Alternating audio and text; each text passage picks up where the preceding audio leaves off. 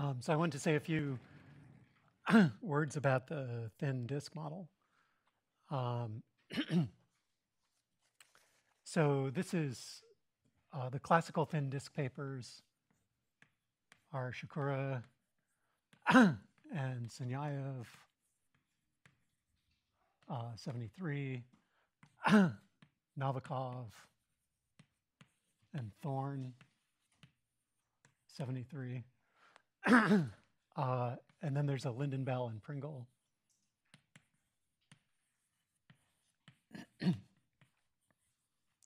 uh, when is it? 74? 74. and uh, a Pringle 1981, which is a very clear review of the uh, material. So if you read these, you should be in good shape. um, so what what is the what is in the in the thin disk models?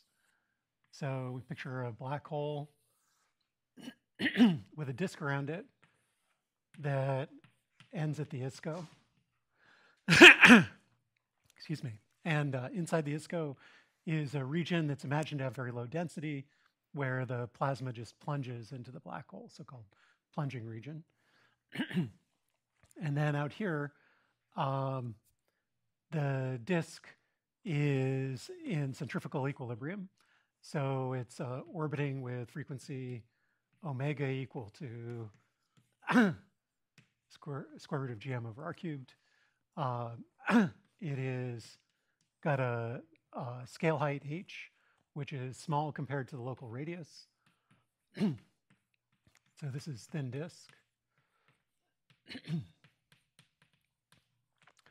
And uh, furthermore, in these models, uh, there's imagined to be only interior transport of angular momentum. So we don't exert any torques on the surface of the disk. We don't have magnetized winds carrying away angular momentum. we only have uh, what can be modeled as diffusive exchange of angular momentum between neighboring uh, rings in the disk. And this is often modeled using an effective viscosity um, so the units of uh, viscosity are kinematic viscosity are uh, length times the velocity. And the only natural length scale here is the scale height. Only natural uh, velocity scale is the sound speed. It's the only game in town. and then we multiply that by a dimensionless number alpha, which describes the strength of the turbulence or intensity of the turbulence. So um, uh, the idea is you set this thing up, you turn it on, uh, and angular momentum flows outward, and uh, mass flows inward. Uh, and uh, I, I, just want to describe a few uh, salient features of the model. So I'm not going to do the entire derivation. And I'm actually going to provide you with yet another Mathematica script which automatically calculates every alpha disk model known to man or woman. Um, so it's uh, uh, what it winds up doing is giving surface density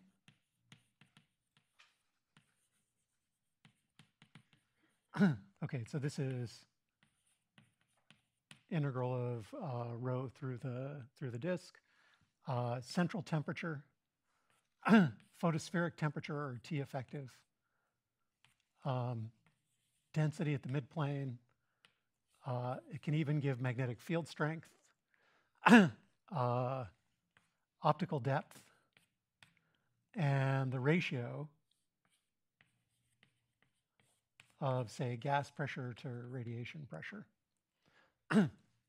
so uh, this all emerges from an assumed value for alpha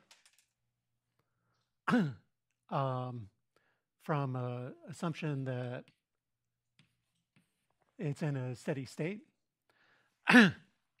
and from uh, uh, vertical hydrostatic equilibrium and radial uh, equilibrium. So the uh, uh, idea is that it's centrifugally supported. Okay, so once those ingredients are in, you, you pour these things in, you stir, uh, and you can get a solution for all these quantities. and uh, uh, I spent most of my career trying to get away from the alpha model, somewhat unsuccessfully. Um, so I'm not going to derive it, but let me write down uh, an example solution so you can get a sense for how this goes. Um, so uh, this is for a, a black hole. Uh, one finds central temperature 4.3 10 to the 7 K alpha to the minus 1 quarter m to the minus 1 quarter. And here m is the mass scaled to one solar mass. and uh, r in units of the gravitational radius to the minus 3 eighths. Okay, so this is for uh, a black hole that's accreting close to Eddington. and uh, uh, this gives us central temperature, effective temperature. So the temperature at the center, at the midplane of the disk, and temperature of the photosphere. Um, these, this looks impossible because the photospheric temperature is higher than the midplane temperature. but um, that's because I, I haven't scaled this to appropriate, uh, appropriately. Uh,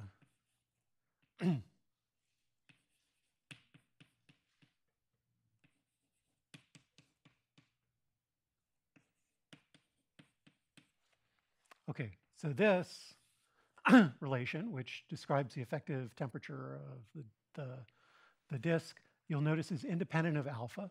It contains no power law dependence on alpha. and that's because uh, the uh, effective temperature is basically determined by an energy conservation relation. So if you're accreting at a certain, relate, a certain rate, you need to release a certain amount of energy per unit area in the disk, and that determines the effective temperature, or alternatively, the, the uh, surface brightness of the disk, uh, which is sigma T effective to the fourth. um, we can also um, calculate uh, P gas over P rad. and this turns out to be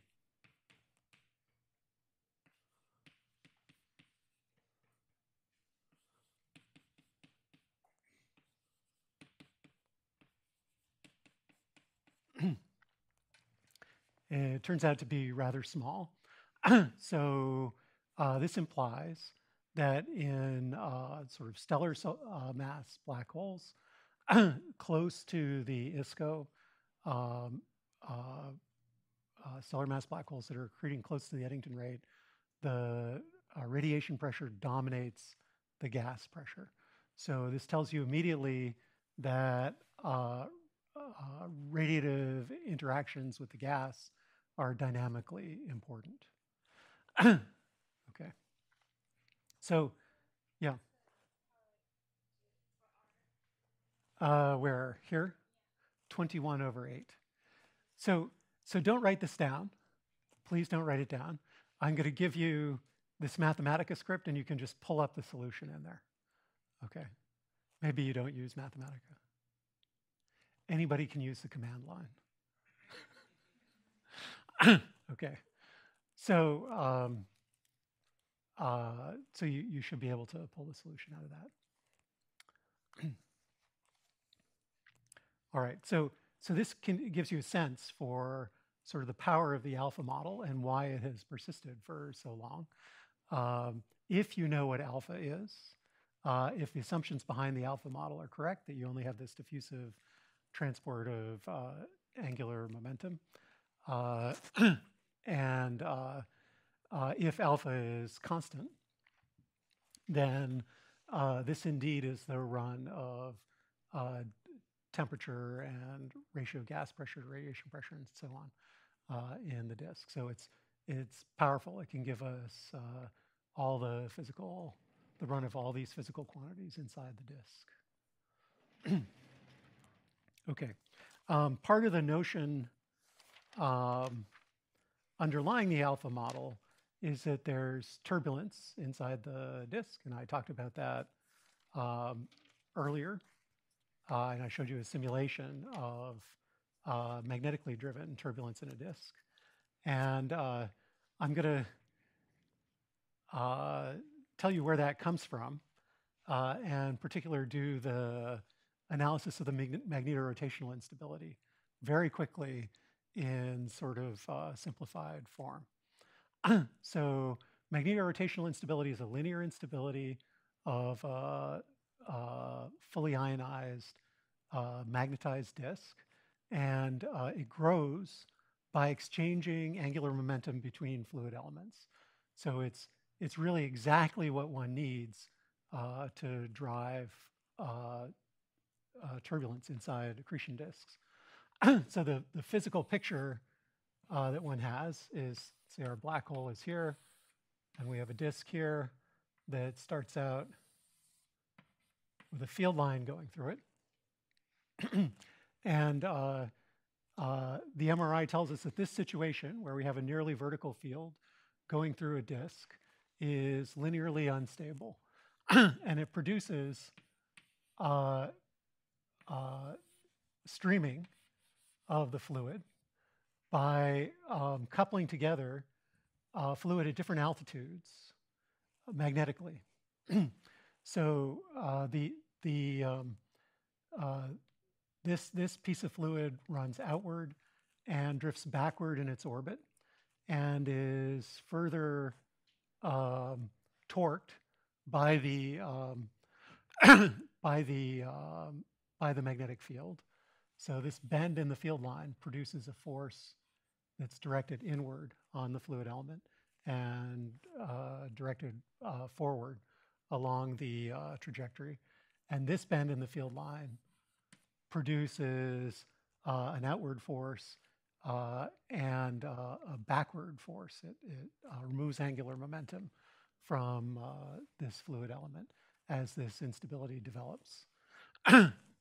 So there's a characteristic frequency associated with this disturbance in the field line. Yeah.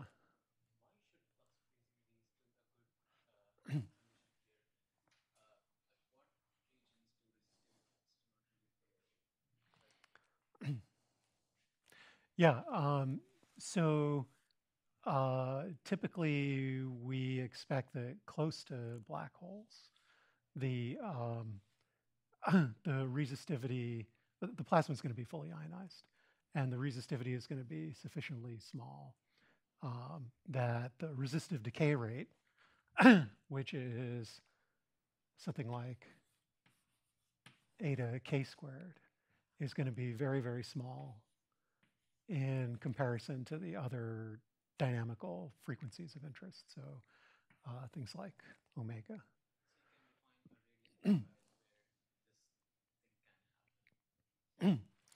uh, you can define a. Um,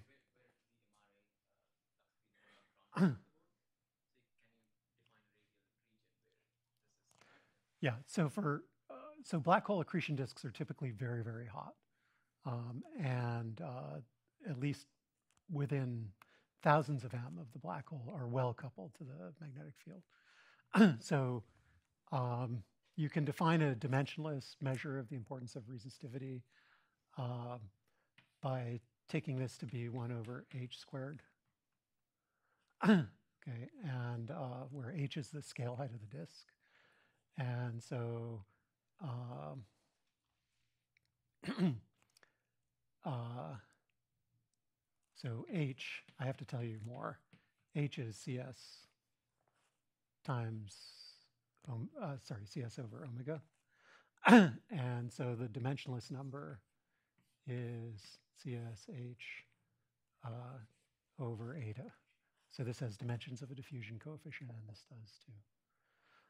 and this is uh, enormous everywhere in black hole accretion disks. Now, when you go to far out in black hole accretion disks, and the temperature um, gets sufficiently low, and how low that is is depends on exactly what the density is and so on, but probably means uh, thousands of Kelvin or maybe a thousand Kelvin. Uh, then resistivity starts to play a role.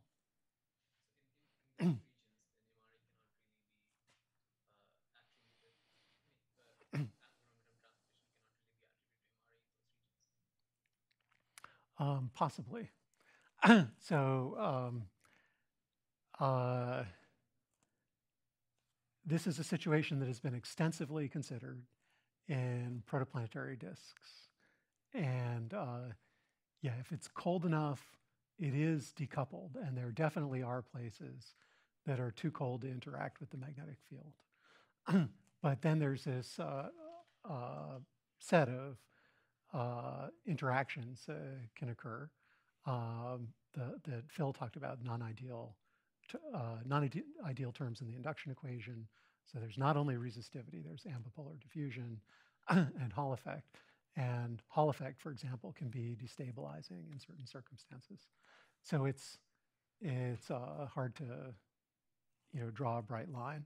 I would say that if the temperature is below 2,000 Kelvin, you should worry about the, how well the magnetic field is coupled to the plasma.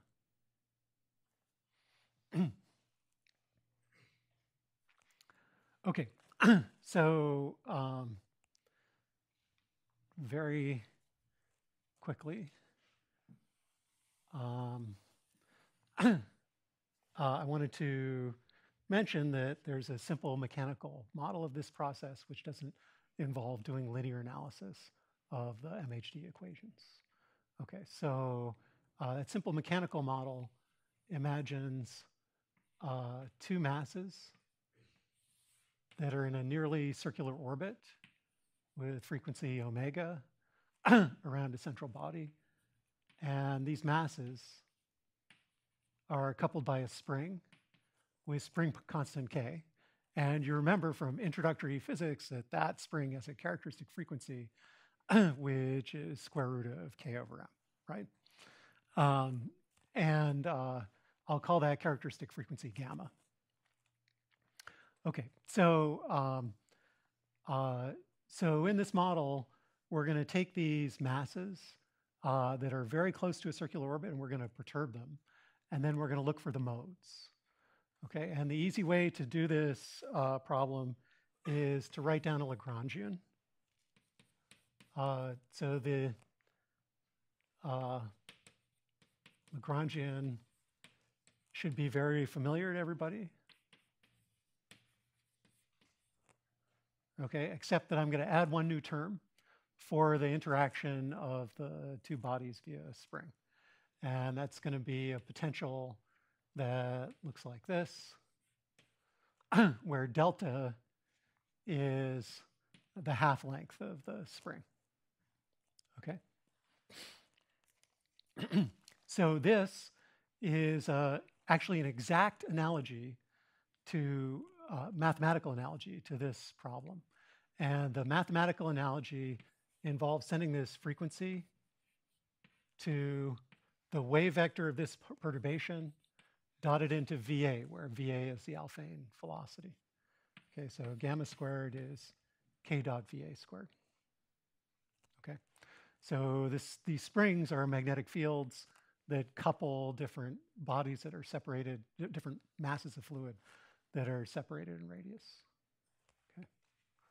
Okay, okay so now I'm going to set r is equal to some r naught. Uh, so here, the radius of the circular orbit is r naught plus some small quantity of order epsilon. Uh, and phi, the angular coordinate, is equal to some phase plus omega t, so there's a circular orbit, um, plus y over r naught. so you can think of these bodies of, as being at a separation x and y from their initial point on the circular orbit. All right, so now uh, we say that each of these things are of order epsilon, and we expand the Lagrangian to second order in epsilon. Okay, so when you do perturbation theory, that's what you have to do. So this, uh, what happens to the first order terms is an exercise for the students. Okay. so L2 uh, is this.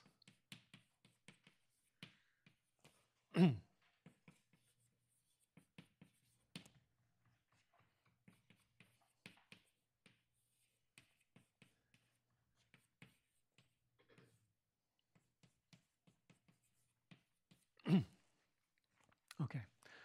so you can see some familiar stuff here. Um, this is just the kinetic term. Uh, this is going to give us the Coriolis force. Um, this is related to the tidal expansion of the effective potential around the circular orbit. And this is our spring. Okay. Um, so then Euler-Lagrange gives us uh, the equations of motion. And I'm running out of space.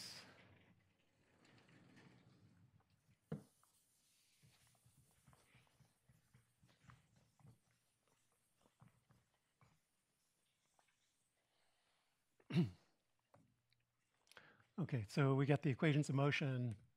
x double dot is equal to 2 omega y dot plus 3 omega squared x minus gamma squared x. y double dot is minus 2 omega x dot minus gamma squared y. Okay, so this, this should look reasonably sensible to you. So here's the Coriolis term. Here's tidal uh, expansion of the potential, and here's the spring. okay, so um, then we take, we look for the modes.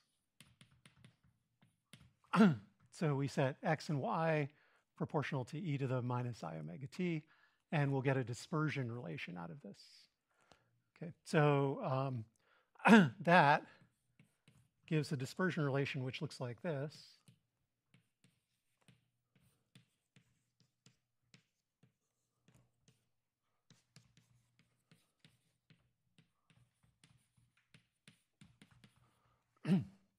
okay, and I, I can't stress strongly enough, this is exactly the MHD dispersion relation uh, when the field is vertical in the disk and when we substitute uh, k dot VA for gamma. It's exactly the same thing. okay, and this we can solve. Uh, so, uh, you know, you can work this out in various limits, um, but there, there are two families of modes. Uh, so one family is stable. That corresponds to one root of a quadratic equation for omega squared. Um, so if we take the small gamma limit, so gamma over omega is small, then there's uh, one set of modes that uh, basically doesn't care about the spring. This is when gamma is small compared to omega. There's one set of modes that doesn't care about the spring. Uh, it just goes around in epicycles in slightly eccentric orbits. And the other has uh, omega squared is minus 3 gamma squared, so it's unstable.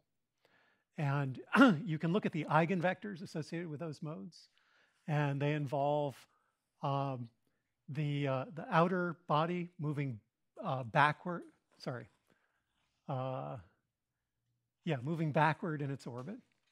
And uh, so it's, uh, let me pull this down.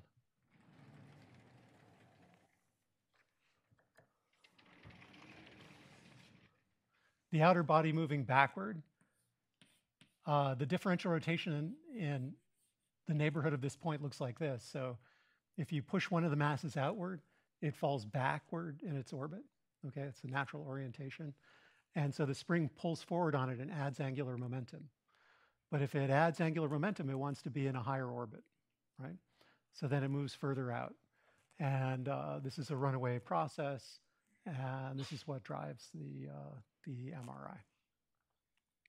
MRI. okay, so again, there's a Mathematica script in the files I prepared, and it does this problem for you so you can follow it in detail. Um, the solution solutions to this thing look like this.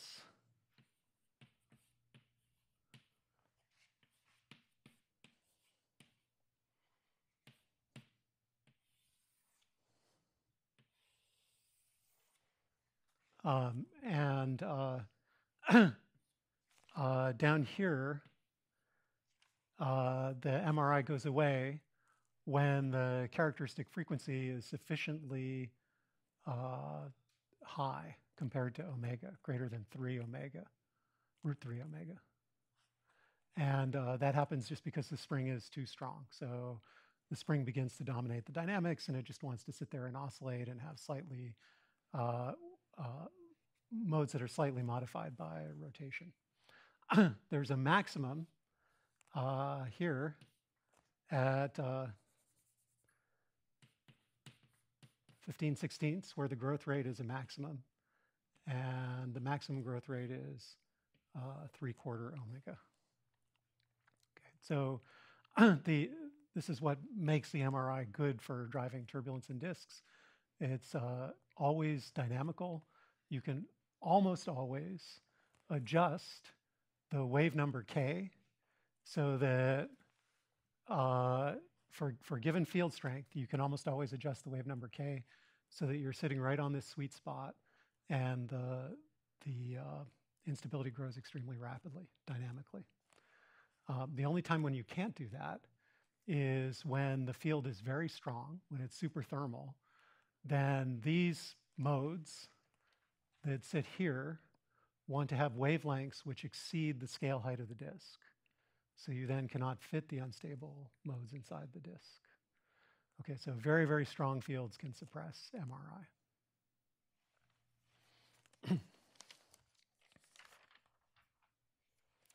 All right. Um, so what we know, what we know now about MRI is that it induces turbulence. So I showed you the uh, the animations already. Um, let's see. Um, so this this turbulence is is driven by the MRI. Uh, we do not understand why the MRI saturates where it does. Um, so there's some evidence from numerical simulations that uh, uh, viscosity and resistivity uh, can influence the saturation level of the MRI. Uh, there's uh, evidence that it, the saturation level, the, the relative strength of uh, the magnetic pressure and the gas pressure um, de depends on the ratio of uh, viscosity to resistivity, which is known as the Prandtl number, magnetic Prandtl number. And uh, uh, I think that there's also evidence that the saturation level depends on the thermodynamics of the disk, so the, the vertical entropy profile of the disk, which in turn depends on uh, energy transport uh, inside the disk. And uh, in Isles simulations like these, I would say that there is not good evidence for convergence. Um, uh, there is not good evidence for convergence for an isothermal disk. Okay. Yes.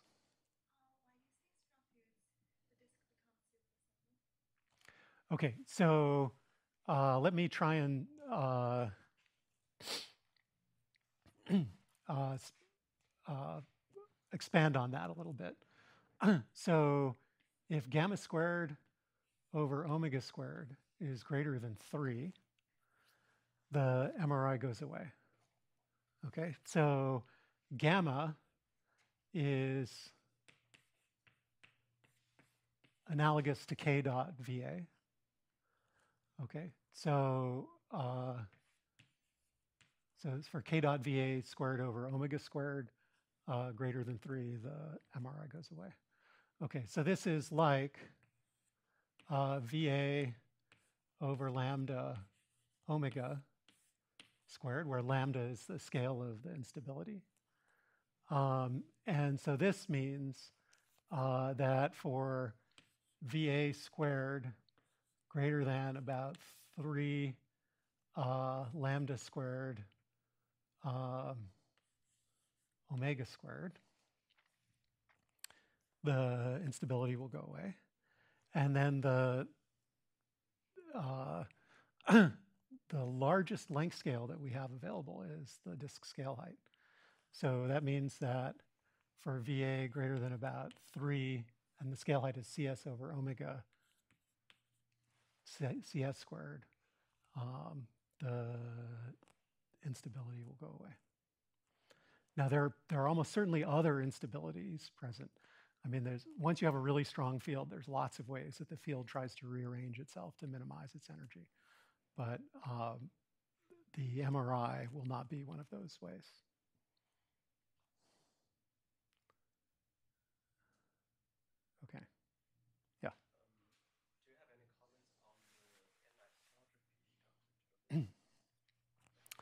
Um, yeah, so there's been uh, there have been numerical studies of this.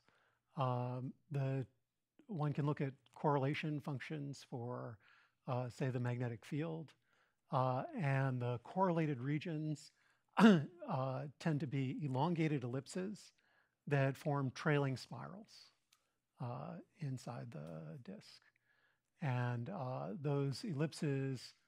The, actually, the orientation of those ellipses is well constrained um, it's a, uh, somewhere between uh, 10 and 20 degrees to the uh, line of constant radius. So these are very swept back spirals. um, they're, uh, the correlation in the, the minor axis, correlation length tends to be very small. And that's another thing for which there's not good evidence for convergence in the numerical simulations at least in the ILES models. Yeah.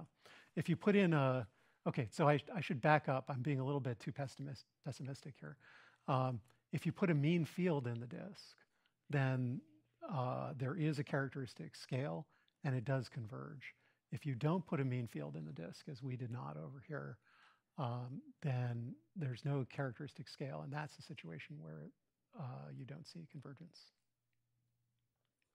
Also, if you don't put a mean field in, but you do, do turn on microscopic uh, diffusion coefficients, so resistivity and viscosity, you again see convergence. Okay, yeah.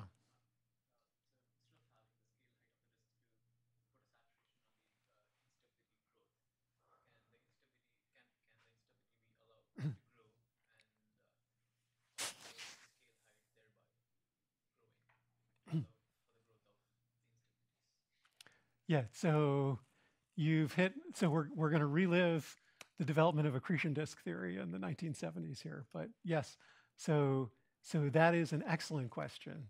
Uh, and you, I think what you're suggesting is that uh, the strength of the turbulence should be related to the local temperature. and that raises the possibility of what's called a thermal instability, where there's a runaway. Uh, so you turn up the temperature a little bit, uh, that increases the heating rate, which then increases the temperature again, and you can have a runaway. Uh, and uh, uh, one of the central questions for black hole accretion disk theory is why we seem to see quiescent disks uh, around uh, rapidly accreting black holes when they should be unstable according to the alpha model uh, and according to recent uh, uh radiation hydro, radiation MHD simulations of the same disks. Um, have been, Yanfei Jiang has been a leader in this, of course. And uh, uh, those also seem to show the presence of thermal instability in even in a you know ab initio model, which does not as assume an alpha model for the viscosity. okay. Um, all right, so uh, I have one more model to do. And then I'm going to stop with this. Um, and uh, the model is the, uh, the so-called ADAF model. so we've got Bondi, we've got thin disk, uh, which uh, allows us to calculate a lot, but leans heavily on our knowledge of alpha. Uh, and we also have uh, so-called ADAF models. How many of you work at CFA? Okay, one. Okay, not an unusually small number of CFA people at any, you know, a typical astronomical gathering. Um, so, so Ramesh Narayan is the originator uh, with his postdoc Insoo Yi of these models. Um, and this acronym stands for advection dominated accretion flow. Okay, so the idea is, uh, let's see, we have Bondi, which is uh, spherically symmetric. We've got thin disk, uh, which we describe as geometrically thin and optically thick. Uh, and then we have the ADAF models, which are sort of an unholy cross of the two. And so the ADAF models look like this. Okay, so they're geometrically thick. And uh, in some cases, at very sub-Eddington rates, are optically thin. Okay, and uh, so let's imagine we turn down the accretion rate so that these things which were optically thick become optically thin. And then eventually they become incapable of cooling as fast as they're being heated by the accretion flow. So at that point, we imagine that they'll puff up and they'll become uh, really geometrically thick with h over r about 1 and uh, look like this. So these things are quasi-spherical but they still have some angular momentum in them. And the angular momentum still controls the accretion rate. okay, so um, uh, so what's new here is that we throw away the cooling for the most part that we included here, and we turn on an advection term in the equations of motion. So a term that looks like this. Okay, so in the thin disk models, VR is small compared to the sound speed. And so we can just neglect this. It's higher order in h over r. But in these thick disk models, h over r is of order 1, and we can no longer neglect this. okay, so the strategy here is to write down the mass, mass conservation radial momentum equation uh, and the energy uh, equation, and to uh, uh, adopt the ansatz that all of the dependent variables have a power law dependence on radius. So in particular, we assume that density goes as r to the minus 3 halves, the radial velocity goes as r to the minus 1 half, that the orbital frequency goes as r to the minus 3 halves, and that cs squared goes as r to the minus 1. Okay, so we can insert these in the basic equations, uh, and what we're left with is a set of algebraic relations between the coefficients of these quantities. Okay? Um, this is a very sort of high level gloss, but for details, there's a very clear paper by Narayan and Yi uh, 94. okay, so this allows us to solve for the coefficients of these things. And for example, we find that VR is equal to minus 3 over, just to give you a flavor for this, over 5 plus 2 epsilon prime alpha root gm over r. Okay, so this alpha is the same alpha that we've been discussing already. It's uh, alpha associated with turbulence in the disk. And this dimensionless coefficient depends on uh, two things. It depends on the adiabatic index of the flow, and it depends on um, uh, how thoroughly we eliminate the cooling. So um, in particular, uh, the ansatz here is that in the energy equation, there's a term which is heating minus cooling. And the ansatz is that this is equal to some constant F times the heating rate. Okay, where F goes from zero to one. and, uh, and this epsilon prime, again, just to give you a sense for how this goes, is 1 over F 5 thirds minus gamma over gamma minus 1. okay, so you can see that the radial velocity here is just alpha times the orbital velocity, roughly speaking. So this coefficient is of order 1, typically. okay. So, uh, so this attracted a lot of attentions. You know, this, this paper has in excess of a 1,000 citations. Um, and uh, there have been many variants of this proposed over the years. Uh, and uh, I would say that the language that people use now is to say that any model in which radiation is not playing a role, there's no cooling, is called a RIAF, a radiatively inefficient accretion flow. So the ADAF is a special example of that.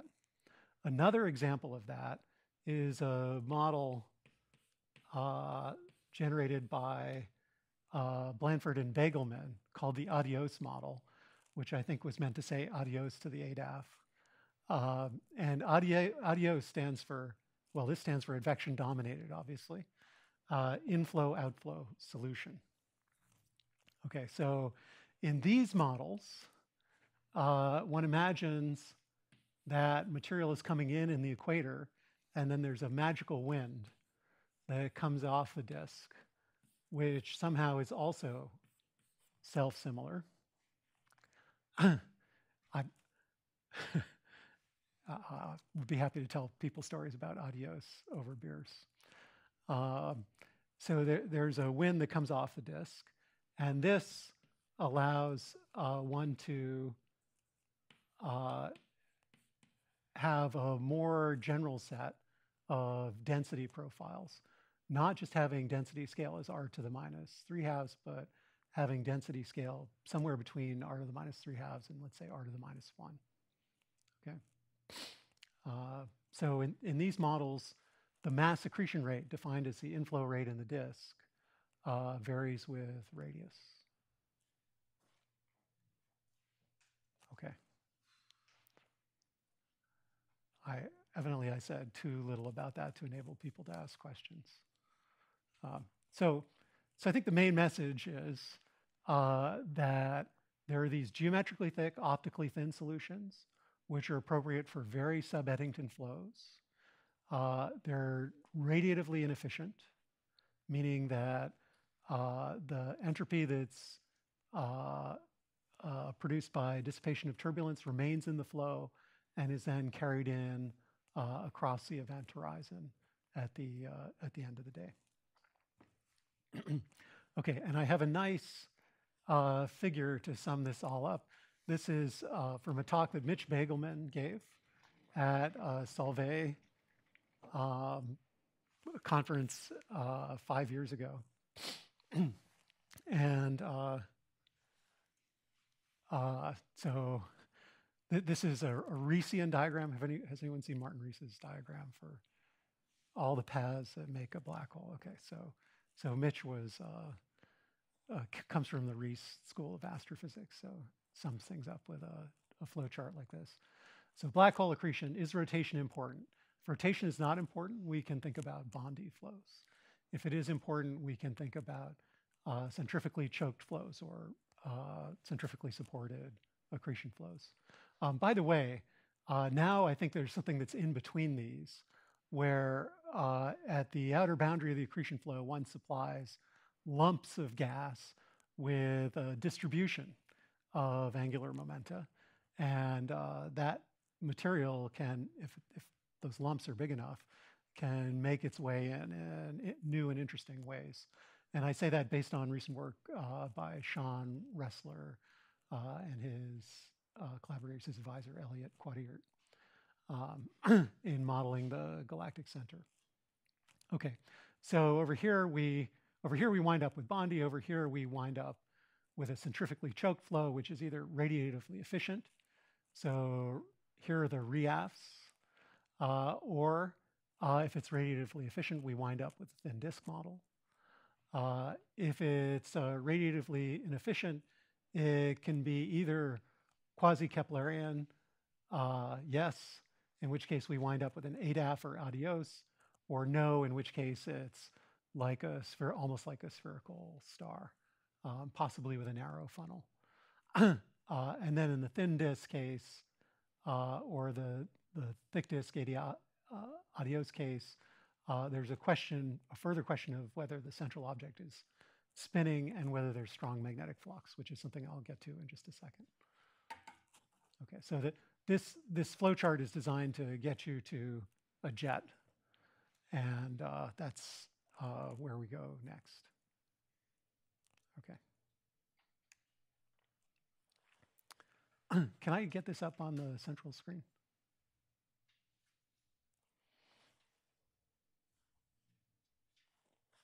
Hey, this is not like the University of Illinois. okay, so, um, all right, so, uh, so those are the classical phenomenological accretion flow models. Uh, so now I want to turn to numerical models, and uh, these uh, can treat either thin disks, uh, where radiation forces are important, and uh, I'll let you talk to Yanfei Jiang about those. At the moment, I'm more interested in the thick disk, very sub-Eddington models. Uh, and uh, I'll just show you uh, some simulations of, of a subset of our models. Um, so this is a, a, relativistic MHD simulation of an initial uh, centrifugally supported tor initially centrifugally supported torus around a rotating black hole. Uh, and this torus has a significant amount of magnetic flux that penetrates the inner rim of the torus. And what you're going to see is the evolution of the rest mass density. Uh, so color here shows the log of the rest mass density. and uh, I'm about to run out of time here. I think I have 15 minutes left. So let me zip through this stuff. Oh. Okay, so it takes a little while for this to go through. This is a, a slice through the uh, poloidal plane, and this is an equatorial slice. Um, and this is a high magnetic flux model, which is known as a MAD model. And MAD stands for uh, magnetically arrested disk. Okay, so one of the important parameters of these models is how much magnetic flux uh, is trapped in the black hole.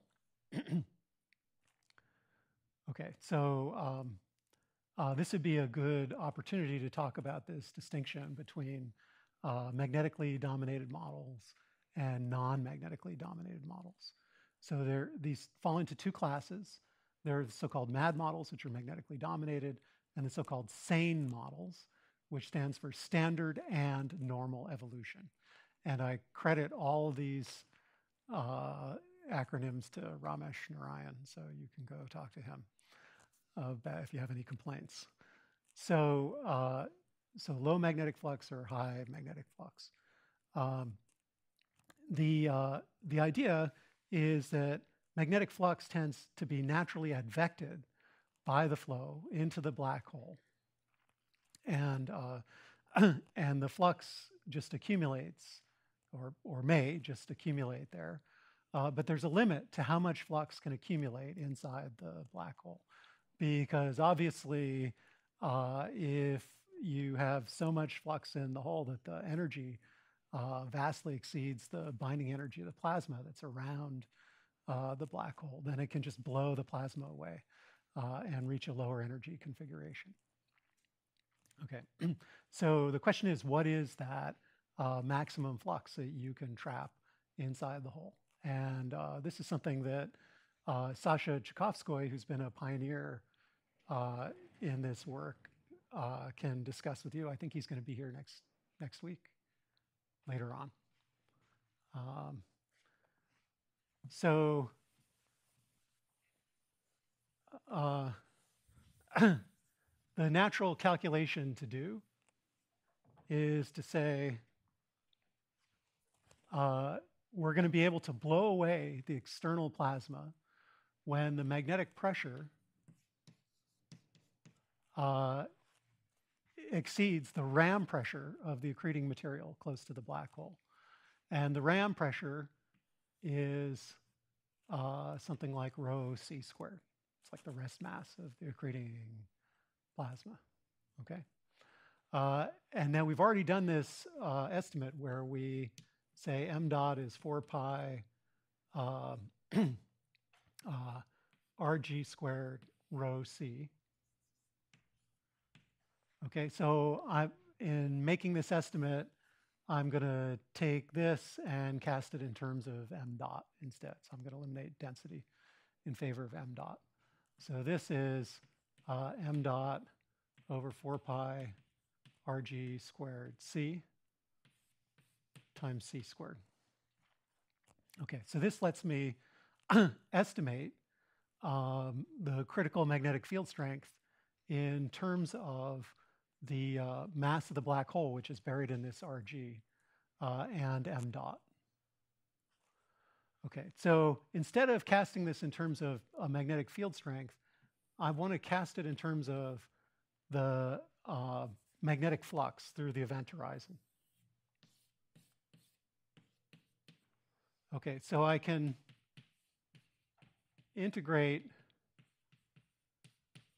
B over hemisphere of the black hole and find out how much magnetic flux is trapped in the black hole. Okay, so some of you may worry about having magnetic flux in the hole. It's not a property of the black hole itself. We know that black holes have no hair, right? Um, but they can wear a plasma toupee. And, uh, and so these fields are supported, these fields are supported by um, uh, currents in the plasma around the black hole. And uh, uh, so it's it, this field is uh, a property of the accreting plasma rather than a property of the hole. Okay, so I want to calculate the flux, which is uh, of order rg squared times b, because this area is of order rg squared.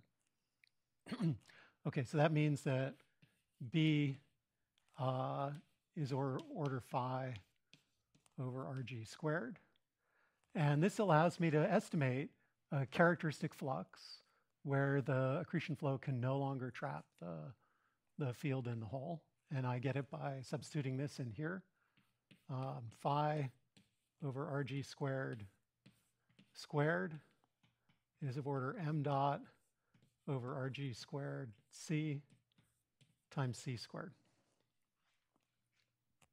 Okay, I've dropped all factors of order 8 pi. Okay, so this implies that phi is of order square root m dot rg squared c. Okay, so this is this is phi critical. And this leads us to define um, uh, a dimensionless magnetic flux. And I'm running out of room here.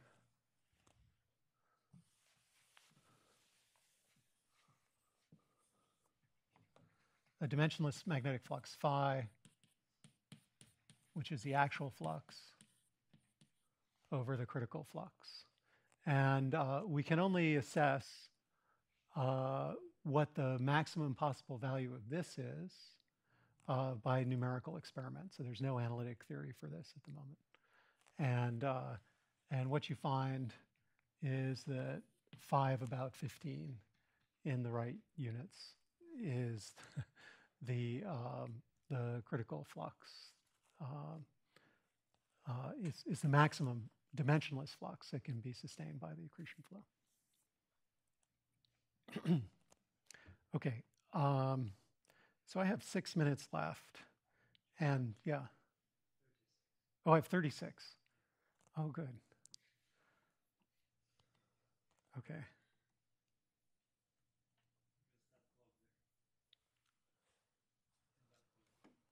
Oh, thank you. Okay, good. That's great. Um, so let me show you some more numerical simulations then. Uh, and then uh, we'll talk about uh, Blandford-Znajek and some open questions. Okay, so I'll put this down. Um, so this shows another uh, view of some of the simulations uh, that I just showed you. Color again here uh, is showing the log of the rest mass density, but this time on a spherical surface at 10 gm over c squared. And uh, this shows a set of uh, four different models, some of which are sane and some of which are mad. And uh, so the, the mad models have this dimensionless flux, flux of 15, and the uh, sane models have dimensionless flux around 1. and then the spin of the black holes is either negative, so these are strongly retrograde disks, uh, or positive, so those are, those are strongly prograde disks on the other side. okay, so I, I want you to notice a couple things uh, about these uh, models. One is that the MAD disks are really crazy. So, uh, so you can see these events where flux bubbles out through the disk and it produces low density regions at the midplane. So these are flux tubes that are uh, making their way out through the accretion flow. Uh, and let's see, there's one right there, right there. Um, again, this is just a spherical surface, so material comes out through the surface or, or can pass in through this surface. Another thing that you can see in these uh, images is that the sane models tend to have, uh, well, all the models have empty regions over the poles. Okay, so uh, obviously, I didn't say this, but it, I think it's obvious that the equator is here and the north pole, of the accretion flow is here. Okay. um, so all these models have empty regions over the poles, which are known as the funnel or sometimes the, the jet or the Poynting jet. And uh, uh, you can see that the funnel is wider in the MAD models than in the corresponding sane models. So this, this kind of makes dynamical sense that uh, if you have a, a, strong magnetic field embedded in that funnel, uh, it can push aside the disk and make a wider, uh, wider funnel over the hole. So the field lines that are sitting in here go down into the, directly down into the black hole. They're, they don't attach to the disk. And so there's really nothing to support plasma in that uh, part of the flow. If you put plasma on that field line, it'll either go in to the black hole or go out. okay. Um, so the other thing that you can see is that something is making the plasma in the funnel here rotate one way or the other. And in these retrograde cases, you can see there's material at the edge of the funnel uh, here. So this is a MAD, strong magnetic field model. You can see the material is being dragged around in this direction while the accretion flow itself is flowing this way.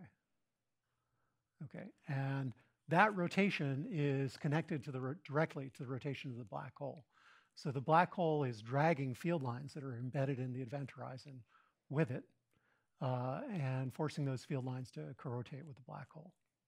Okay, so that's the origin of the so-called Blandford-Znajek effect, is dragging of field lines that pass through the event horizon by the rotation of the black hole. Yeah. yeah. Yeah, but they evolve um, on a fairly long time scale. Uh, so if you have a line accretion, then uh, you can change the spin only basically on the salpeter time scale.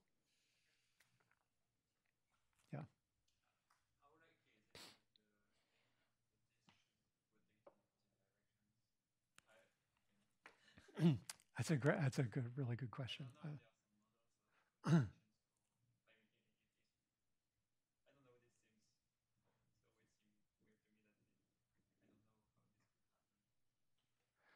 yeah. Um, so uh, this gets back to the question of alignment of accretion flows in uh, galactic nuclei. Um, there doesn't seem to be very good evidence for alignment.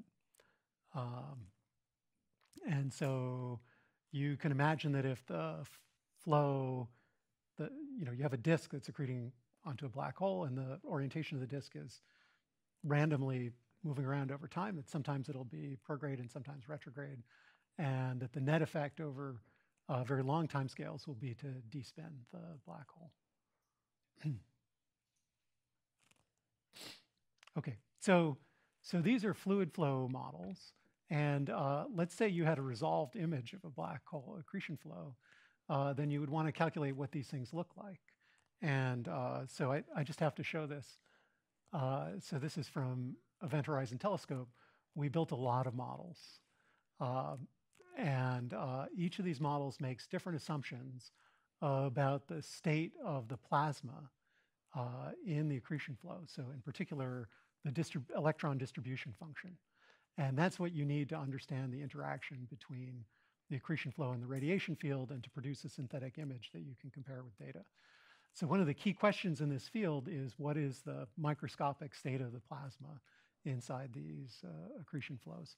Is it is the electron distribution function thermal? If it's thermal, what's the temperature?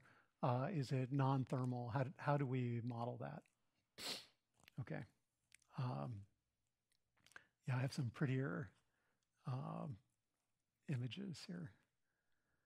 Uh, but before I talk about this, I want to um, talk about, um, actually, let me turn that back on.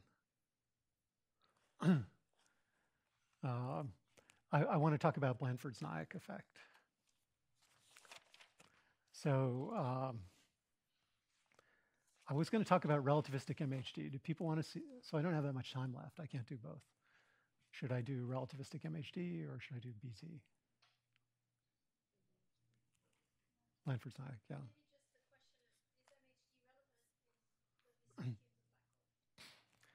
Uh, right. Um, okay, so uh, yes, uh, so when the um, when the accretion rate is very low in m dot, in the sense that m dot over m dot Eddington is small compared to one, we think that the accreting plasma is collisionless. so that means that the the mean free path to Coulomb scattering vastly exceeds the size vastly exceeds RG.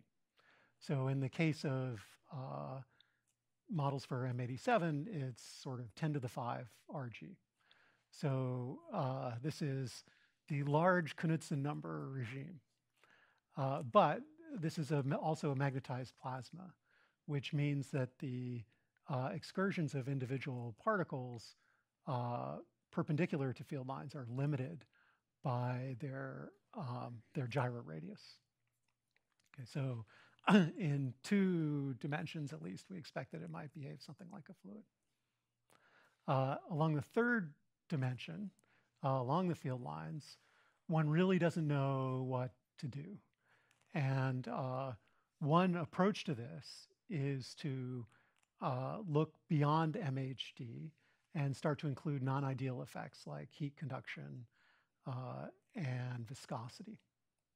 And uh, there's some work uh, that I did with my student Mani Chandra and uh, also with uh, Francois Foucart, who's going to also be arriving tomorrow, soon, today, Monday. Okay. So with Francois Foucart uh, and, uh, and Eliot Quataert, and we looked at these sort of extended MHD models to try and assess uh, how much the flow would change.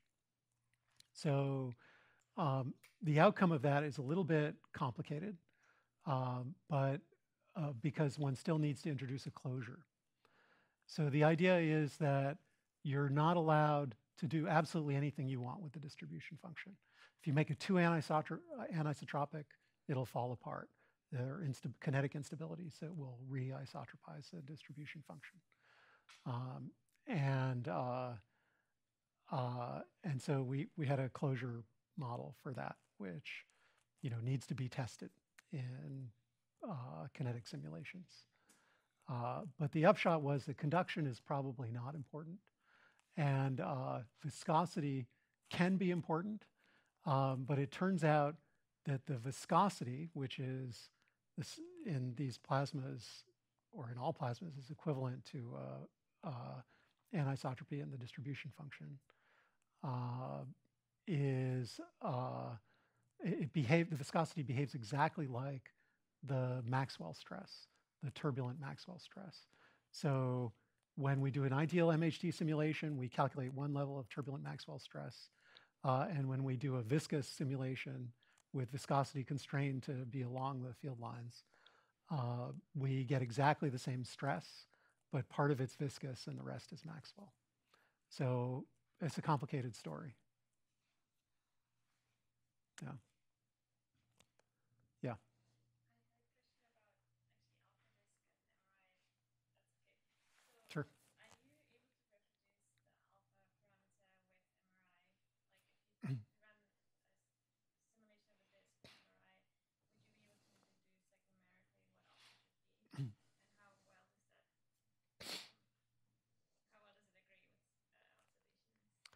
Yeah, so um, what can I say about this?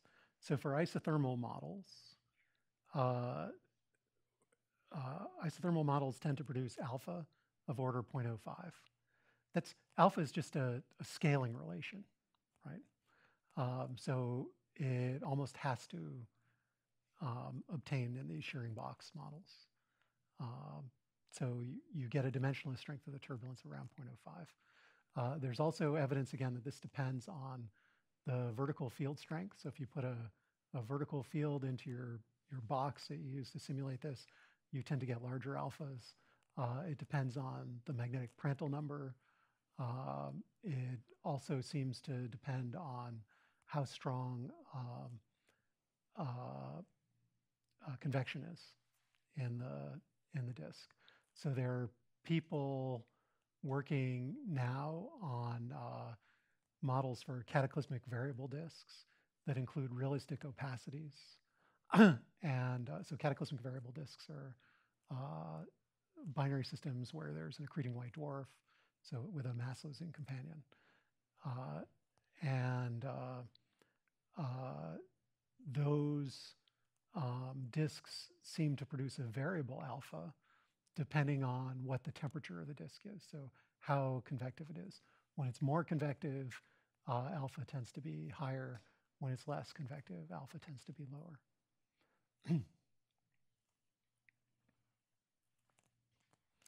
but again, there's, there's always worries about convergence in this business. So don't tell anyone I told you that alpha is 0.05, because I didn't. Okay. Um, so Blandford-Znajek. Um, so, um, so we've already done uh, the limiting magnetic flux. and uh, Now we want to ask what happens when you embed that magnetic flux in a rotating black hole. And this is uh, a problem that was first considered by Blandford and Znajek uh, 1977.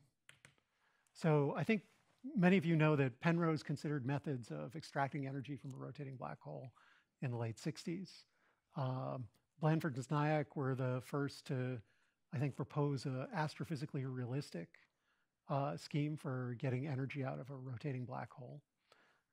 and uh, Blandford and Znajek considered a force-free model. So force-free here means that uh,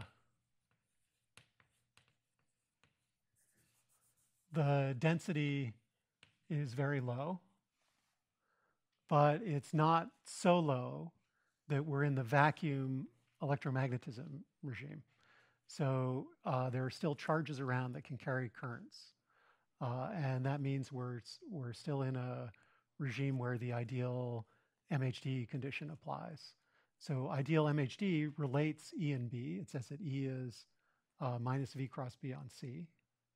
Okay, so it takes the number of degrees of freedom in the field from six down to three. Okay, and uh, uh, so this is a relativistic version of that. Um, and uh,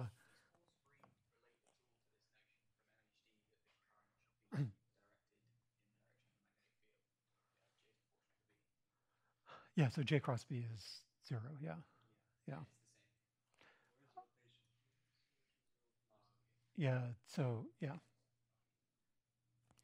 Um, so what Blandford-Znajek did was say, let's uh, look at a field configuration for a non-rotating black hole. Okay, so Schwarzschild, and we're going to use a monopole configuration. Okay, so field is just coming out. And if you want to make this more realistic, you can uh, use a split monopole where it goes in in one hemisphere and out in the other. And then don't worry about what happens in the equator. Okay. so, uh, so the idea was to um, uh, spin this up and do an expansion of the equations governing the magnetic field in the limit that the spin of the black hole is small compared to 1. Okay, and that's the analytic hook that lets you get a solution. Um, so uh, the equations that you solve um, are the source-free Maxwell equations and the uh, stress energy conservation. So uh, uh this is actually why I was going to do re relativistic MHD first, because this makes more sense. But you have source-free Maxwell, so uh, the induction uh, equation, and and then you have divergence of T mu nu is equal to zero. so these allow you, these two equations allow you to evolve the uh, magnetic field in this force-free approximation in the, the magnetosphere around the black hole. Okay, so this is a mathematically challenging task uh, for which you need an understanding of polylogarithms. But uh, the, I think the, it's really a, a, simple idea, which is that you have uh, magnetic field lines embedded in a rotating body.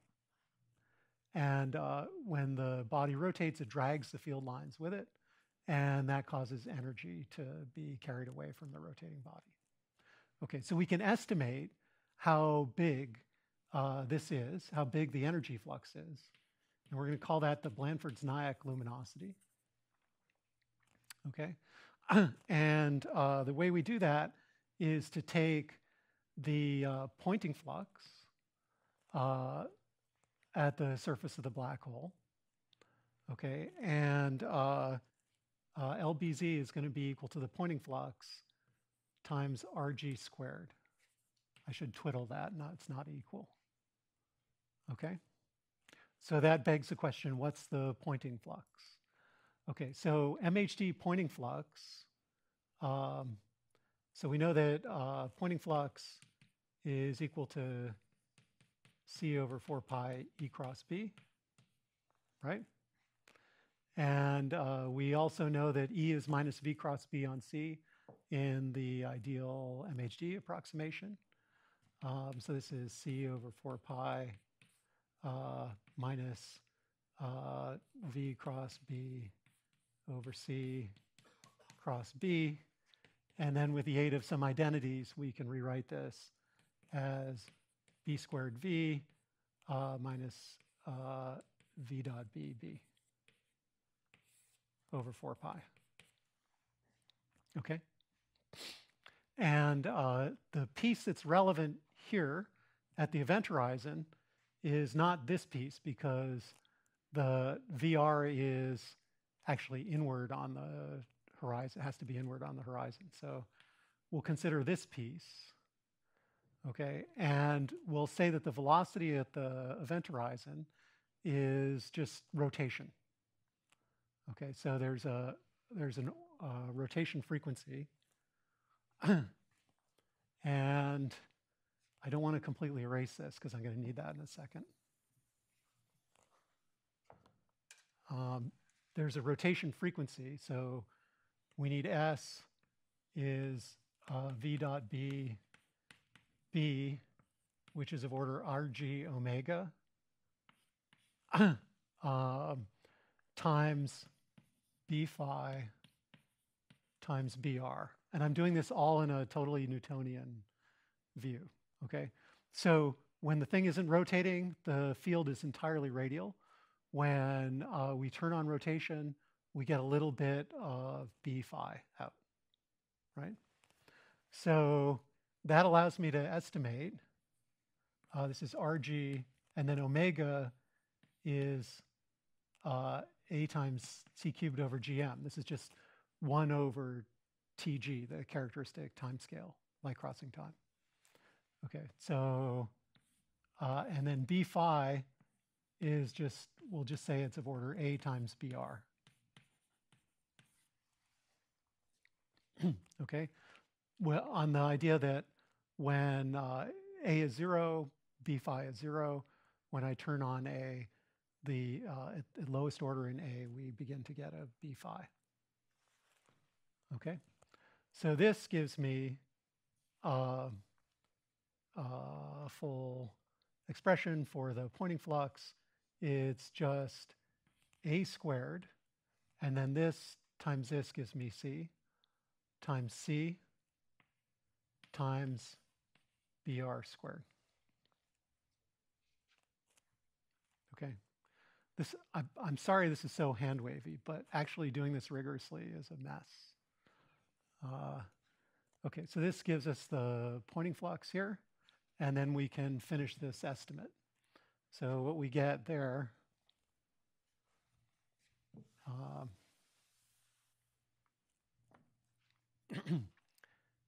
is uh, a squared c b squared uh, times rg squared.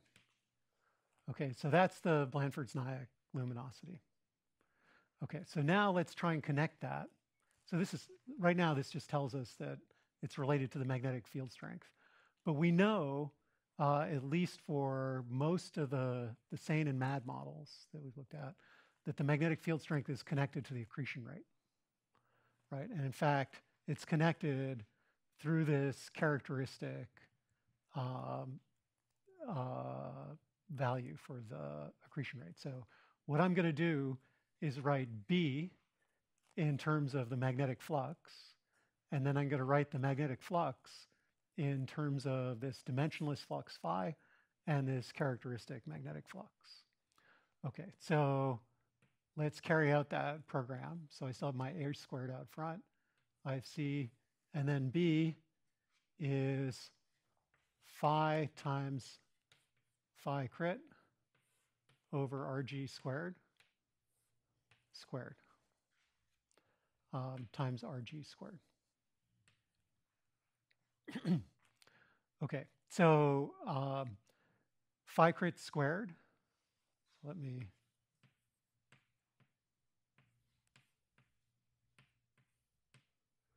Okay, so phi crit squared is rg squared m dot c. Okay. Uh, so this is, okay, and then uh, uh, let's see, I'm missing, uh, no, I'm, I'm good. Uh, times rg squared divided by rg fourth. Okay, that's rg fourth, rg squared, and rg squared there. So all the rg's go away. Okay, now at the end we get a squared, phi squared, m dot c squared. Okay, so this tells you that the uh, Blandford-Znajek luminosity is proportional to the accreted rest mass energy, and that the efficiency is directly related to the square of the spin and the ratio of this magnetic flux to the critical magnetic flux. Okay. Yeah.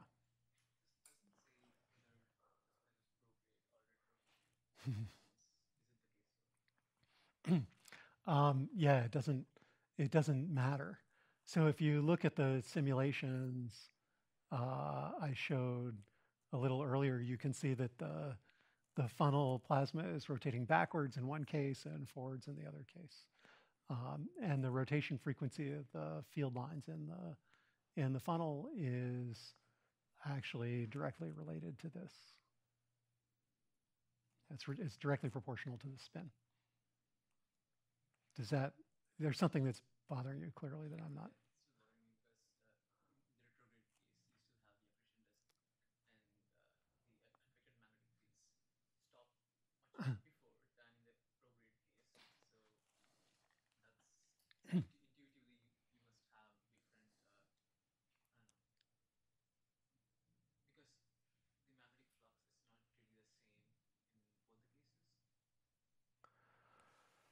Um, yeah, so the so right, so the critical magnetic flux, the, the dimensionless magnetic flux, which is the maximum possible value, is actually slightly different in the two cases. It's slightly lower in the in the retrograde case. Retrograde case, yeah. Um, but that I haven't made any assumptions about that here. So phi is what phi is. Okay.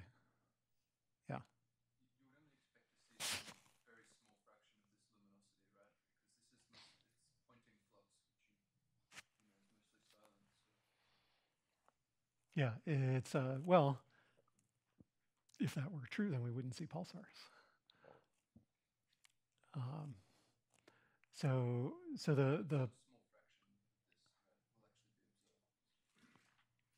the, yeah, so I, I think that the answer to that rests on uh, unsolved, unresolved problems about what happens to these Poynting jets as they propagate outward. And uh, there are a couple of things that could happen. So one thing that could happen is that the field lines could be loaded by various pair production processes with electron-positron pairs.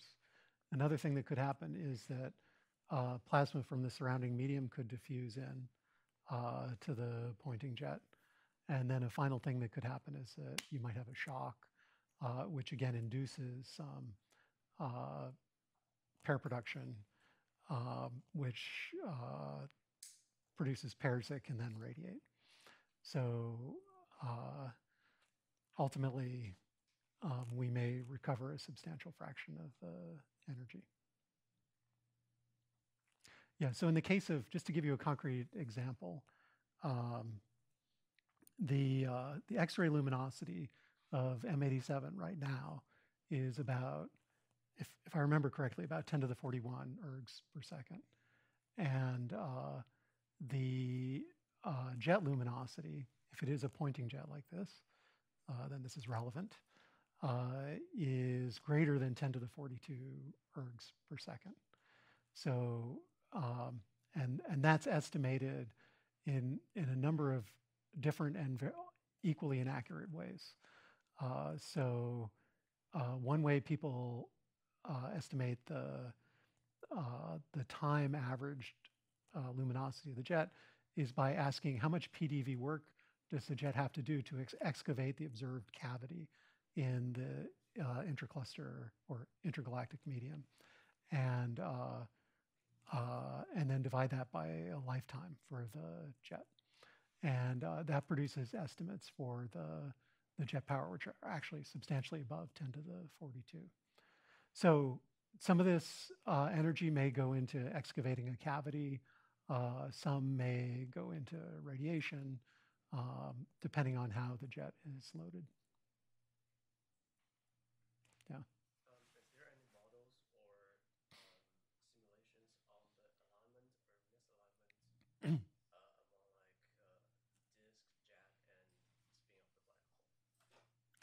Yeah. Um, so uh, there, that's a really interesting problem. Uh, Matthew Liska has uh, recently produced some interesting simulations of misaligned uh, disks. Uh, I should back up a second and just say what the classical theory of the misaligned disks is. So there's something called the Bardeen-Petterson effect, uh, which is Jim Bardeen, not John Bardeen. And uh, uh, that uh, makes the observation that if you think about the accretion disk as a series of rings that, that are tilted out of the equatorial plane, then each of those rings will precess uh, um, due to Lense-Thirring effect. And uh, the precession rate will depend strongly on radius. And so that will wrap up the warp with radius. And then if there's any sort of dissipative coupling between neighboring rings, uh, and you can wait long enough, then those rings will settle into a common equatorial plane where they're not precessing anymore. So uh, how that happens depends on how that coupling occurs and what waves are present that also might uh, excite uh, tilt or cause tilt of the disk to de decay or be carried uh, away. so um, there's an idea, going back to the Bardeen-Petterson paper, that the disk will naturally align everywhere inside a characteristic radius, which is called the Bardeen-Petterson radius. Uh, uh, and then this theory has been revisited again and again over the years. Uh, have you done something on that, Phil? everybody, everybody's worked on that. Uh, it's a really interesting problem, and uh, uh, I, I, would say that the the outcome is not yet clear. Um, that there's a suggestion that uh, the behavior of the disk depends on the ratio of alpha to the dimensionless thickness of the disk to h over r. So that's um, who, who did that stuff. Is that Papaloizou and Pringle? Probably, yeah. Um, and uh, uh, and then there have been simulations. So only recently has it been possible to do this in MHD simulations. And um, you know, a recent example is um, Matthew Liska's work, uh, Matthew Liska's work suggests um, that there actually is gradual alignment even of a thick disk, and that the jet emerges perpendicular to the disk and not along the spin axis of the black hole. So you can think of these Poynting jets as like, they're very light, right? They, they are light. Um, and, uh, and so they're easy to deflect. Uh, so it's kind of natural to think that it emerges perpendicular to even to a tilted disk.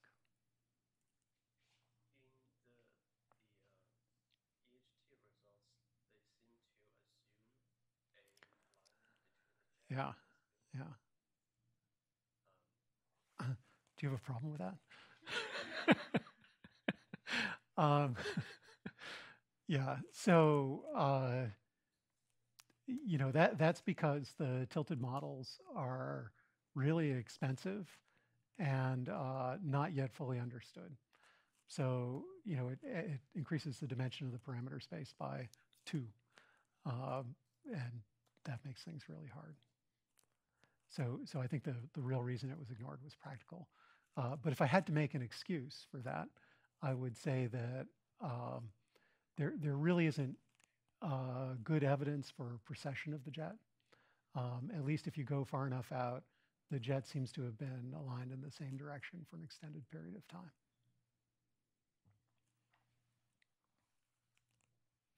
Okay. I'm kind of talked out. Happy to talk. I'm here for, uh, for another two weeks.